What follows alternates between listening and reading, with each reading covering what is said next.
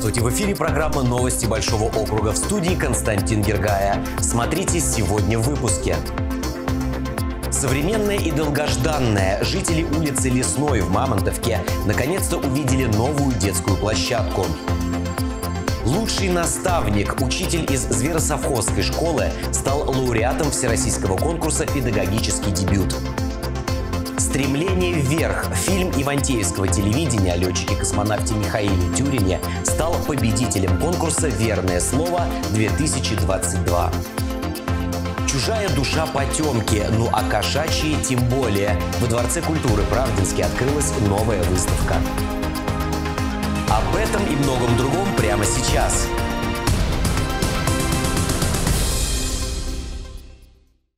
Не зря ждали 10 лет. Жители улицы Лесной в Мамонтовке теперь могут спокойно отпустить своих детей поиграть на детскую площадку. Сейчас она современная и безопасная, а раньше это был привет из прошлого, и жители долго не могли добиться благоустройства. Что решило проблему, расскажет Анастасия Спирина. Вот что было, а вот что стало. Были горки ржавые, стали новые. Была песочница, заросшая травой. Сейчас целый комплекс. Были скрипучие качели, теперь на выбор. Балансиры на пружинки обычные. Сказка стала былью. Этот объект выполнен из двух частей. Первая часть – это э, малые архитектурные формы для игры детей, горка, э, лазилки.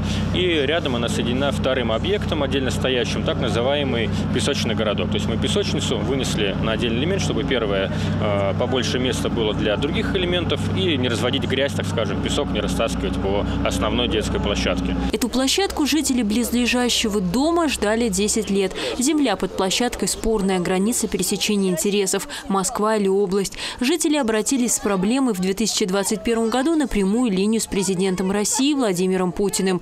Представители президентского движения «Народный фронт» взяли материал в обработку и передали в администрацию округа. Ну, на сегодня мы мы видим, что администрация городского округа Пушкина смогла решить эту проблему. Площадка стоит, э, как сказал заместитель главы администрации, на балансе ее МБУ забирает, поэтому будет обслуживаться, убираться и не встанет балансом на дома жителей, которые здесь проживают. Детскую площадку построили по всем нормам безопасности с ударопоглощающим резиновым покрытием. Установлены ограждения, лавки и даже урны для раздельного сбора мусора. А главное, все элементы согласованы с жителями. Я вполне довольна. Мне нравится. Элементов достаточно. Большая песочница, горка двухуровневая, что удобно и для совсем малышей, и для детей постарше. Покрытие веселенькое. Детям площадка тоже нравится. Ученики соседней московской школы тоже решили ее опробовать. Несмотря на то, что уже из нее выросли, не удержались. Ребята помладше тоже освоились. И родители спокойны. Теперь дети будут играть рядом с домом и в безопасном месте. Анастасия Спирина, Владимир Парфенов, Яков Глейзер. Новости Большого округа.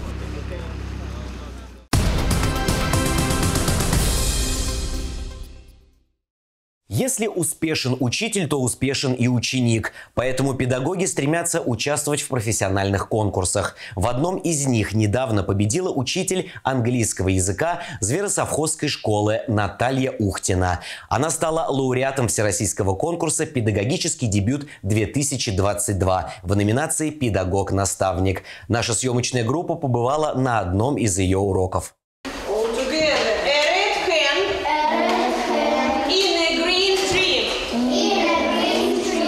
Научить детей предмету – это не главное для педагога. Опытные учителя еще должны поддерживать молодых коллег, тех, кто только начал свою карьеру в школе. Наталья Ухтина, учитель английского языка Зверосовхозской школы, одна из них. Недавно она стала лауреатом Всероссийского конкурса «Педагогический дебют-2022» в номинации «Педагог-наставник». Педагог-наставник э, должен не только э, приглашать к себе, так скажем, да, молодых педагогов, но и посещать их уроки, помогать им в разных сферах деятельности, не обязательно только в учебной и во внеурочной деятельности. Вот таким образом мы в школе и занимаемся с молодыми педагогами. Наталья подала заявку на конкурс в конце 2021 года и уже летом узнала, что стала победителем заочного тура. На очном этапе, что проходил в московской школе, показывала мастер-класс, анализировала современный урок, участвовала в круглом столе по теме современного образования, продемонстрировала инновации в сфере общения с молодыми коллегами. Но нужно оказывать разные виды поддержки. А, помогать им строить, готовить уроки, помогать им общаться с родителями, тоже сейчас серьезная проблема. Василиса работает в этой школе шестой год, второй год учителем начальных классов, а до этого параллельно с учебой совмещала работу библиотекаря. Наталья Александровна стала ее наставником, подсказывает и поддерживает в трудных ситуациях. Как раз на прошлой неделе мы э, и она, и я, мы аттестовывали с ней вместе. Она как э, наставник очень хорошо себя проявила. Она помогала э, мне готовить открытый урок для дистанционной комиссии. А также сейчас я буду участвовать в конкурсе «Педагог года». Тоже Наталья Александровна помогает отобрать материал. В этом году школа поселка Зверосовхоз вошла в зеленую зону. В 15 лучших по показателям качества образовательных услуг. Медаль Натальи тоже в копилку общих успехов. Когда идет признание э, в детской среде, в среде детей, слова благодарности родителей – это очень актуально. Это весомая оценка эффективной работы учителя. Победа в профессиональном конкурсе это высокое достижение, признание и оценка своих коллег. Поэтому мы в коллективе очень много работаем над этим. В этом году уже пять учителей Зверосовхозской школы подали заявки на участие в профессиональных конкурсах. Они этим участием смогут развить свой творческий потенциал, реализовать свои профессиональные амбиции, изучить новое. А школе это поднимет статус и улучшит качество образования для детей. Анастасия Спирина, Юрий Дубрунов. Новости Большого округа. Первые паспорта получили 10 ребят из Пушкина, которые достигли своего 14-летия. На торжественной церемонии в ЗАГСе 16 ноября документы вручила заместитель главы администрации городского округа Пушкинский Ольга Жданова. Это событие они запомнят на всю жизнь. Уже после будут аттестат, диплом, брак, но вначале паспорт как признак гражданства, как основа. Десять школьников из Пушкина собрались 16 ноября в ЗАГСе, чтобы получить свои первые паспорта. Ребята, это действительно большой праздник. Сегодня из наших рук вы получите ваш главный, важный документ. Безусловно, подобных, а, похожих документов в вашей жизни будет еще очень много. И аттестаты, и дипломы. Но этот документ самый важный, самый главный. С новым паспортом подросток ощущает себя взрослее и увереннее. Согласие родителей он может выбирать место жительства, заниматься легким трудом и получать зарплату. Отсюда возникает право на ежегодный отпуск, стипендии или заработной платы платой можно распоряжаться самостоятельно. С 14-летнего возраста распространяется авторское право. Ребята осознают ценность документа. Это очень важно, потому что теперь права полностью на мне, и я теперь официальный гражданин России уже со своим такой вот очень важным документом. После торжественного вручения провели викторину «Что ты знаешь о паспорте?», а после для всех собравшихся выступила ученица средней Челюскинской школы Ангелина Кононова со стихотворением Марка Лисянского «Я себя не мыслю без России». Потом общее фото на память об этом важном дне. Может, я к этому все-таки давно уже готовилась, поэтому для меня большая честь, большая радость сегодня наконец-таки получить желанное. Это было очень волнительно, конечно. Поначалу переживала, все-таки официальная церемония, но тем не менее очень рада, очень долго ждала и наконец-то получила. Вместе с главным документом каждому вручили обложку для него, цветы и конституцию с поздравительным адресом от губернатора области Андрея Воробьева. Такие торжественные церемонии проводят раз в месяц в отделениях ЗАГСа Ивантеевки и Пушкина.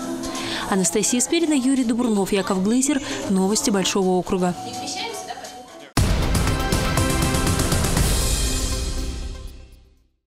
Верное слово – доброе дело. 16 ноября состоялась церемония награждения победителей пятого регионального творческого конкурса «Верное слово-2022».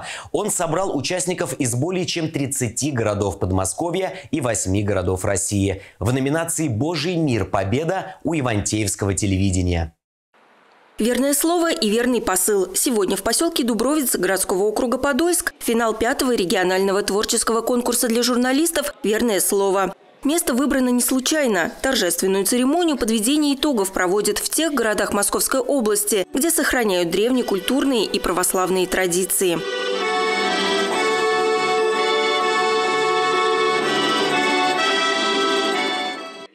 Творческий конкурс «Верное слово» 2022 года собрал участников из 31 города Подмосковья и 8 Российской Федерации, в том числе Санкт-Петербурга, Казани, Липецка, Ярославля и других. Для городского округа Пушкинский этот финал особенно примечателен. Обладателем диплома первой степени в номинации «Божий мир» стала директор Ивантеевского телевидения Галина Тарасова за фильм «Стремление вверх» из цикла «Дорогами Большого округа». Это рассказ о космонавте Михаиле Тюрине, который возглавляет школу звонарей в приходе Георгиевского храма. Галина Анатольевна, телевидение Ивантеевки, фильм «Стремление вверх». Насколько вообще уникальные объекты находятся в этом округе, например, там подземный храм или еще какие-то там уникальные музеи, насколько уникальные и удивительные люди тоже живут вот буквально рядом с нами. Нам показалось, что это очень важно. Стоит отметить, что фильм «Стремление вверх» удостоился специального приза из «Звездного городка». Это шайба с автографом Героя России, летчика-космонавта Михаила Тюрина. А эта шайба единственная, которая у меня хранилась уже дома, с его автографом а, из Калуги. Здорово, очень из приятно. Калуги. Прекрасно. А президент фестиваля «Братина» Сергей Боков передал съемочной группе золотую медаль и диплом фестиваля «Профест», который проходил в Сербии в этом году. Первое место на этом конкурсе также занял фильм из цикла «Дорогами Большого округа. Девять жизней» Владимира Маяковского на Акуловой горе. Замечательная работа, я вручаю вам, вот как почетный президент Спасибо. этого форума, с удовольствием. И Спасибо. включаются, думаю, все наши благодарные телезрители, которые тоже оценили ваш большой вклад в э, телевизионное искусство. Региональный проект «Верное слово» запущен Союзом журналистов Подмосковья с 2016 года по благословению митрополита Крутицкого и Коломенского ювеналия. Цель проекта – сохранение традиционных ценностей православия в средствах массовой информации Московской области. После торжественной части для всех участников конкурса – экскурсия в уникальном Знаменском храме в поселке Дубровицы. Эта церковь выполнена в стиле барокко, что нетипично для русского храмового зодчества. Ни один другой подмосковный храм не является столь загадочным, как этот. Доподлинно неизвестно ни автор этого шедевра, ни мастера, трудившиеся здесь. С уверенностью можно лишь сказать, что над созданием храма в Дубровицах трудились как иноземные, так и русские мастера. Людмила Ермакова, Галина Тарасова, Евгения Федорова, Анна Белова. Новости Большого округа. Около 50 картин с кошками можно увидеть в Доме культуры «Правдинский». Там открылась новая выставка. Художница Любовь Желуницына показала разных кошек и котов. Кого-то сделала мультяшным, кого-то изобразила в моментах из реальной жизни. А кому-то из них подарила головной убор, подобранный под мимику и характер животного. Каждая картина умиляет. О выставке расскажет Евгения Коломиец. Если вы любите кошек, то вам точно понравится выставка «Чужая душа Потемкину», а кошачья тем более. На ней свои работы представила художница Любовь Желуницына. На каждой картине, а их порядка 50, изображены очаровательные кошки и коты в разных образах, ситуациях и даже в шляпах. Почему кошки? А потому что, видно, эм, я давно шла к этой выставке из-за того, что нужно и детям, и взрослым. И вот эти пушистики, видно, связывают детство. э, Получается, что мы как-то переходим с этого состояния да, во взрослость. И при том это доступно, это будет интересно и взрослым, и детям, эта выставка, добавок ко всему. Свои картины с кошками художница выставляет впервые. Рисовать этих пушистых созданий она начала более трех лет назад. Вместе с художественным руководителем Дома культуры «Правдинский» Любовь долго думала, какую выставку сделать. Работ у нее много. Рисует не только кошек, есть и море, и цветы, и природа, и даже графика. Но кошки зацепили больше всего. Это называется картина «Покровительница кошек и их хозяев». Она одна такая единственная, эта картина. Просто с кошками именно икон больше нет. Это одна. Вот. Многие у нас заказывают ее, потому что даже не знают, что она такая существует.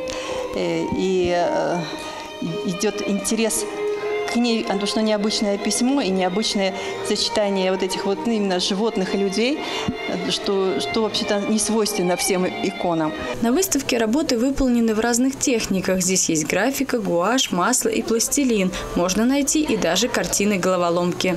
И вот в этих картинах, вот во всех, они совершенно все разные. Где-то нужно найти птиц, допустим, да, это не в зависимости от того, что глаза посчитать, сколько глаз, столько птиц, а на каждую птичку там идет 2-3, каждый глаз, вернее, идет 2-3 птички, вот, и тогда, получается, можно даже с детьми играть, кто больше найдет птиц, кто больше найдет рыб, да, вот на этой картинке, кто больше найдет тех э, этих мышей, да, или вот здесь вот кто больше найдет шаров, шарики вот эти воздушные здесь. И из-за из этого складывается интерес детям и к творчеству, да, и к картинам. Выставка «Чужая душа Потемкину», а кошачьи тем более, это уже третья в творческом сезоне. Перед ней в ДК «Правдинский» свои работы представили сразу 19 членов Пушкинского отделения Союза художников Подмосковья. Любовь тоже член этого союза, а также она член Международного фонда художников и Ассоциации художников-педагогов.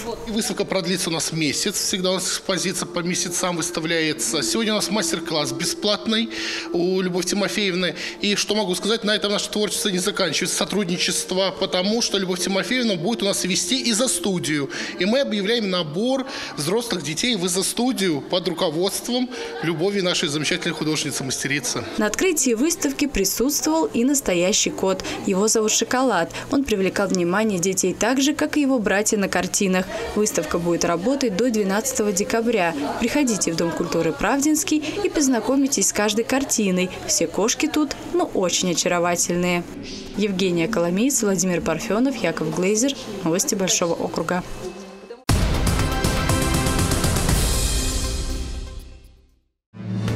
И в завершении выпуска о погоде. Климатическая зима нарастает. Синоптики не исключают, что уже на этой неделе установится постоянный снежный покров, который не растает до весны. В пятницу 18 ноября днем ожидается 5 градусов мороза, ночью минус 6. Ветер северо-восточный 5,5 метров в секунду.